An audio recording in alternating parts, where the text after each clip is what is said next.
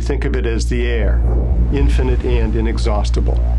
But when you use water in such quantities that it exceeds the capacity of the system to renew itself, we have a problem. Farms all over the Central Valley have been allowed to dry up. It's not a question of if, it's a question of when.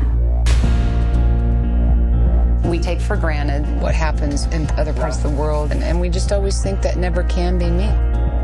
It already is you.